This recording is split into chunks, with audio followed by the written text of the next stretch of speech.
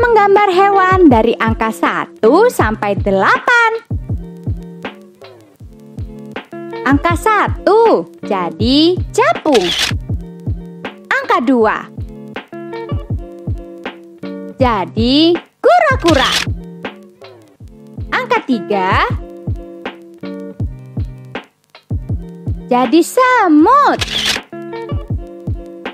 Angka 4 jadi landa.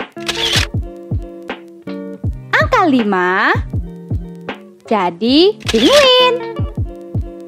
Angka 6 jadi siput. Angka 7 jadi tikus.